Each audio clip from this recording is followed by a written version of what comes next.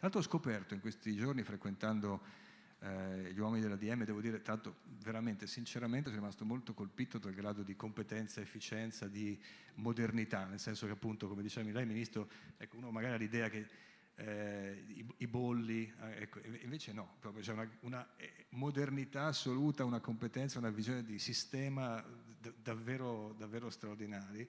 Ho, ho scoperto però che anche la difesa deve fare dogana.